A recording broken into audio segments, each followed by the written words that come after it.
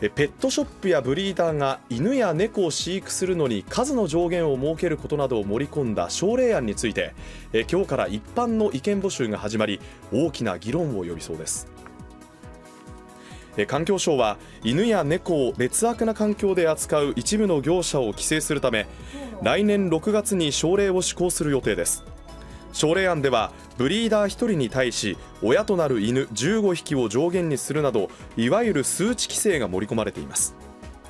この省令をめぐっては数値の上限をより厳しくしてほしい。規制が廃業につながり行き場を失う犬や猫が出るなどといった意見がこれまでにメールやファックスで10万件以上届いています。